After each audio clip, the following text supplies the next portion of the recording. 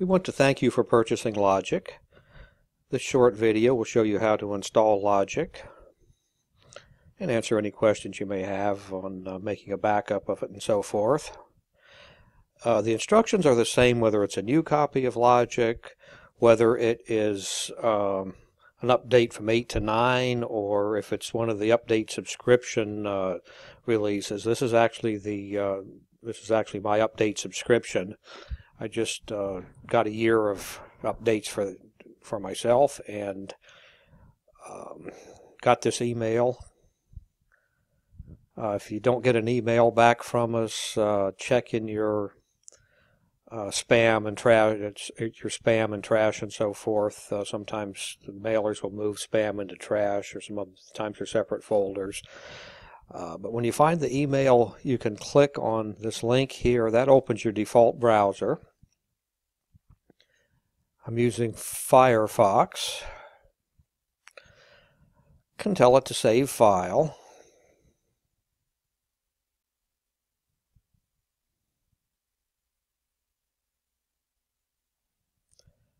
Okay, it downloaded. There it is. I could go ahead and click on that to run it. Could do that. I get this alert saying that doesn't recognize Windows doesn't recognize the program. I just click on more info and tell it to run anyway. I'm not going to do that actually because I'm going to make a backup copy of that. So I click here on my download folder. Uh, that shows me the folder itself and right there is the um, file I just downloaded. I right click on that, send it to the DVD drive insert the disk, follow the instructions. It's pretty straightforward. Okay. I'm going to do the same thing with Microsoft Edge. And we'll also do Chrome. They're all very similar. Also, if your link isn't clickable in your email, you can just copy it like I'm doing here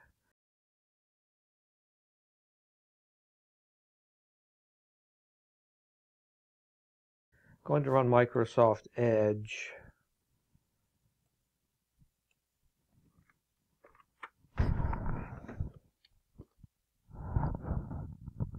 And it's downloading. Okay, so the download finished and I can run it. Again, I'd have to go through the rigmarole of uh, you know more info and run anyway. Um, but what I can do is go to downloads Right there it is. That's it has a one after it because that's the one that uh, this is actually the second one we downloaded. The first one we uh, did with Firefox. Right there's the one we just downloaded. Again, we can you know send it to the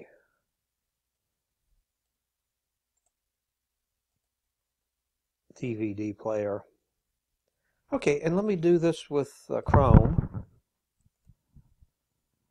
Again, I'm going to paste it in here.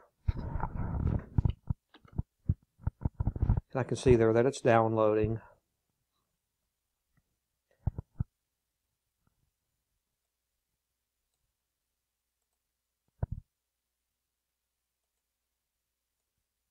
Okay, finish downloading.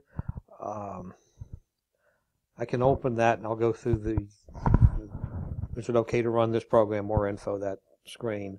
Or I'll show it in folder again. And here we are. There's the one we just downloaded. Okay, so I have it downloaded now. I'm going to go ahead, uh, close out of the email. Going to go ahead and run this.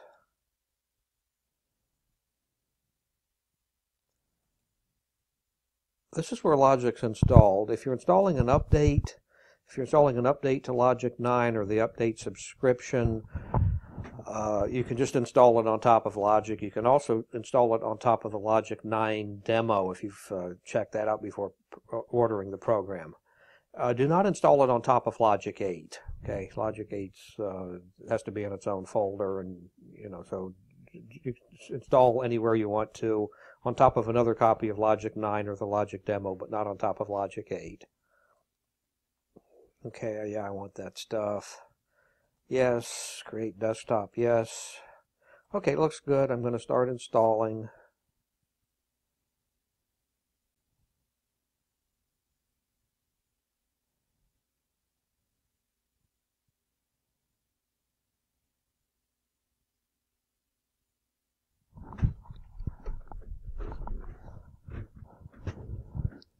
Okay.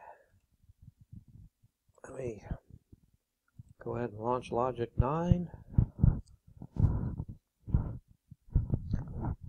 This was the update subscription I installed on top of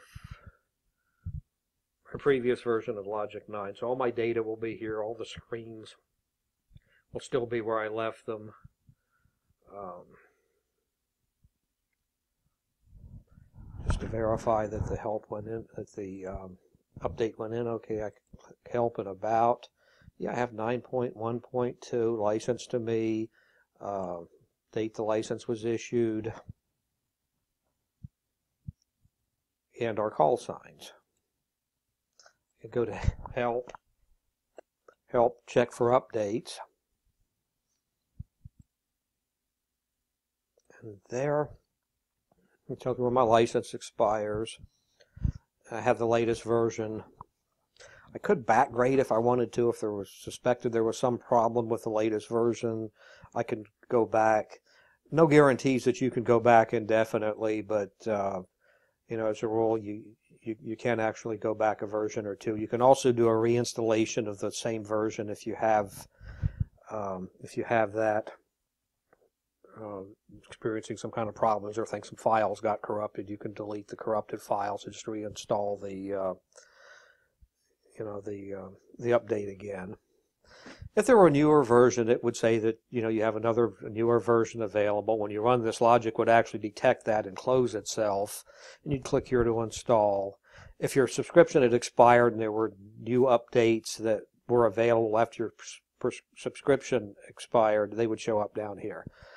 So I'll just uh, click here, go ahead and run that. Okay, while that's doing its thing, also I can click here if I just want to keep a copy of the uh, last update file just for, you know, for my own purposes. It'll save it on the desktop for you. Okay, another thing to do, especially if this is a new version of Logic uh, installed on a new machine, you want to go to Tools, tools and internet. Well, it always opens on that side. Tools, internet, and import FCC callbook. Okay, I got it's just telling me that uh, it's detected, detected that Logic's already running, so I'll just uh, cancel.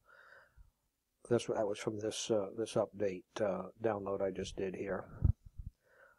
Okay, uh, go ahead and start the update, start the download.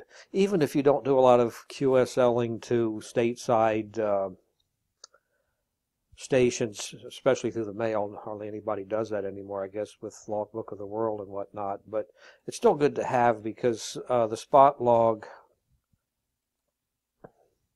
uses that to get the location of the U.S. stations that are posting spots. So you can do things like say, well, give me only spots that are posted by someone who's located 500 miles from here.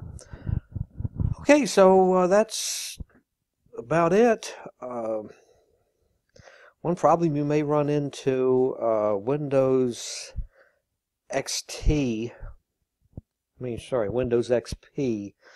Uh, you may need to go install .NET Framework 4. It's already built into 8 and 10. I know it's built into 10. Pretty sure it's also in 8 as well. But uh, to get uh, the .NET Framework 4 for Windows XP, you go to install it, it's going to complain that it doesn't have it. Uh, .NET Framework 4.0. Yeah, .NET Framework 4.0 web installer is what we need.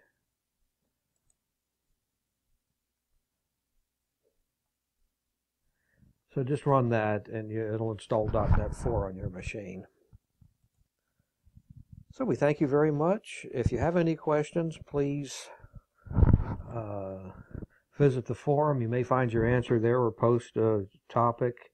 And of course, you can always call or email us. Uh, we thank you very much.